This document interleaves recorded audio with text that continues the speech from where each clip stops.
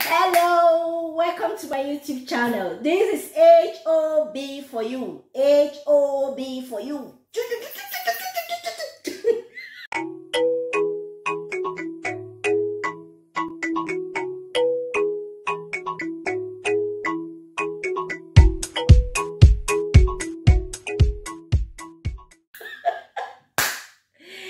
HOB. Yes.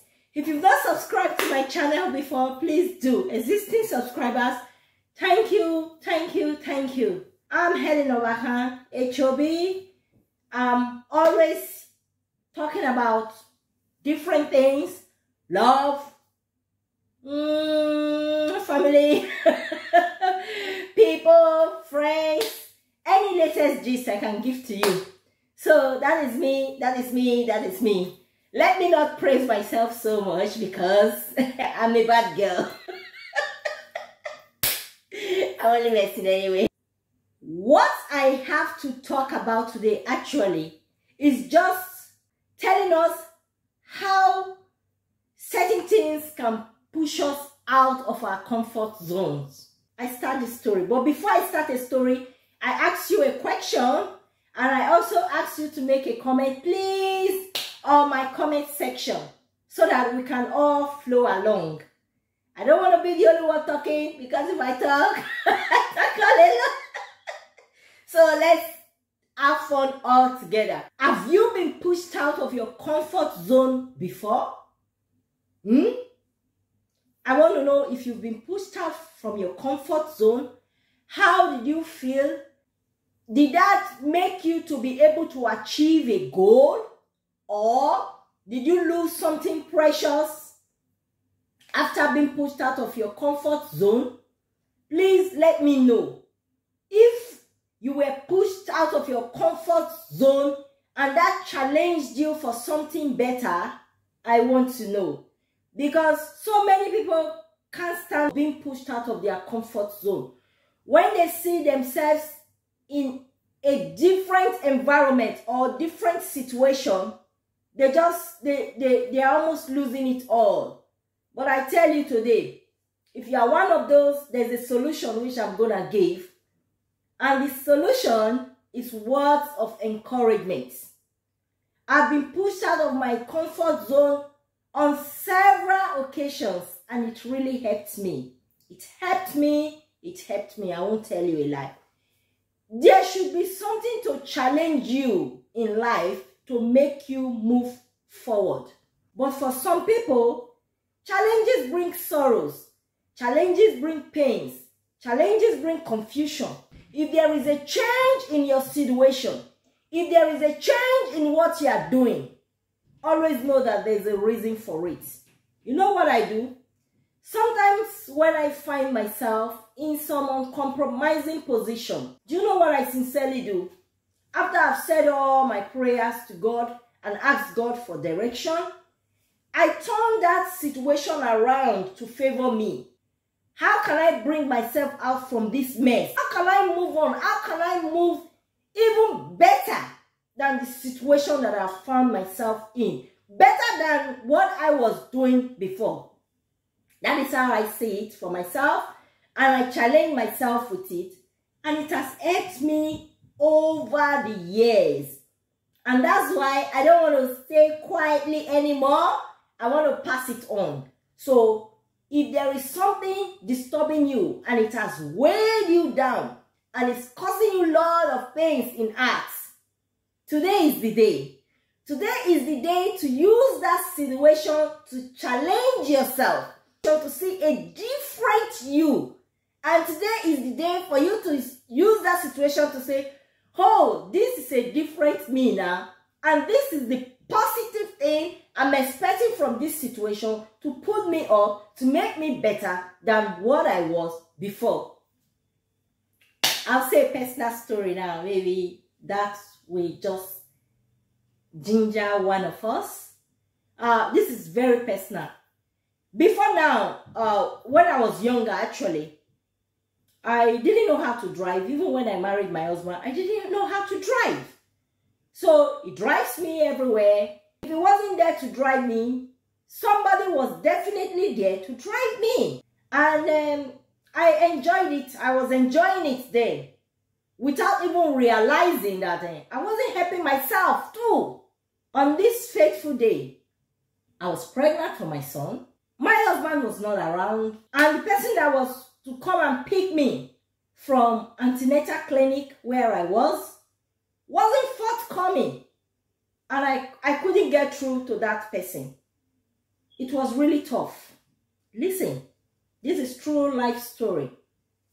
I made my journey. The home is very far from town, right? I made my journey, boarded a cab. On the way, the driver told me he couldn't go further because the road was messy. Everything around that section was so bad. If they drive in, they might end up sinking in the mud. The driver stopped. Despite I pleaded for him to bring me further because of my condition, he wouldn't.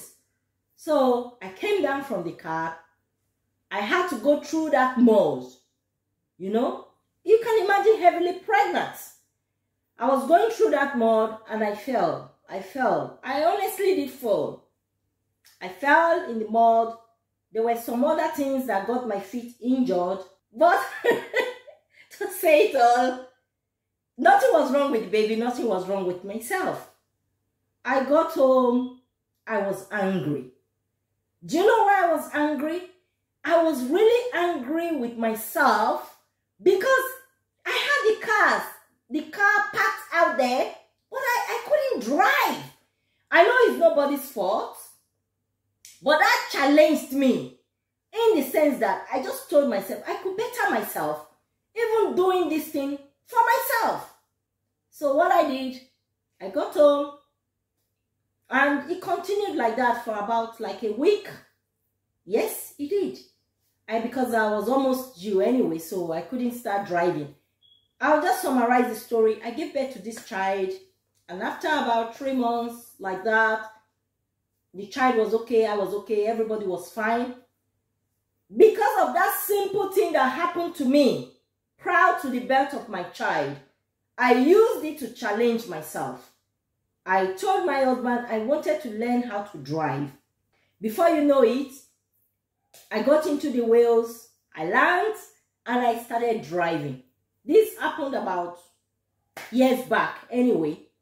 So what I'm trying to say is every situation, you can use it to challenge yourself. That's a very simple one that I've talked about here. There are even more awkward situations that you can use to challenge yourself for the better. I will cite an instance now. There was a lady that, um, you know, she used to tell me a lot of stories about herself, about her family, just stories we get talking, talking and talking and talking like that. Then she got married. She was looking for children. She never had. Years went by and no child was forthcoming for her. And you notice what this lady did to herself? She used her predicament, her present situation. She used it to challenge herself. In the sense that she said, yeah, I've been looking for children. I want children. None is forthcoming. Then she picked up a job and started working with children. Children were always around her, almost 24 times 7. When she goes home, she thinks about these kids that she minds during the day. She, she, just, she just believes she had kids because those were her kids. She had relationship with them. And, she, and that even made her so busy that she wasn't even thinking of her actual situation, the deficiency that she had or the problem that she had. And before you knew it, because she was in a more relaxed environment, she wasn't like thinking too much. And she came with the good news. She was pregnant. And now she's a mother of five. So what I'm trying to say, I'm not telling you if you don't have kids, go and stay with children or go and do this. What I'm just using these instances in our lives to say situations can change. Everybody's situation can change from the bad situation you found yourself to a better one. It could be in terms of job you're looking for. It could be in terms of existing job you're doing. It could just be anything. Your situation can change and you are the person that can really assist yourself in changing your own situation for the better. I'm being honest. So take every opportunity to turn it around in your own favor. Yes, in your own favor. You know what I don't like? What I don't like is when you sit and put your hand on the head and tell yourself, oh, it's just, it's finished. I can't go further than this. You are only deceiving yourself because you can go even more than what you think. You can. You can go higher and higher and higher, further and further. What I'm telling you today, I don't know who is there. You are watching me, you are seeing me, you are hearing me. Turn your situation around. Even if it's, it, it, it looks like it's the end, no. For you, no. For me, no. Turn it around in your own favor. That's all I have to say. That is all I have to say. We can turn so many situations around in our own favor. Use it to achieve something for yourself. Oh, yes. Story. During the pandemic, you know, during that time that it was so like tough, people were scared, people were not going to work, a lot of people were not doing things. That time, I turned that situation into i will come to that one of my videos i'll come to that soon i turned that situation into something for myself. It's like giving birth to something new in my life and it's helping me today. So that was meant to be a great challenge on its own because it made many people uncertain but that situation has also changed a lot of people's lives for positive things. We shouldn't be always thinking of the negative things. Even when we see things shaking us, we should see how we can turn it around in our own favor, in my favor, in your favor.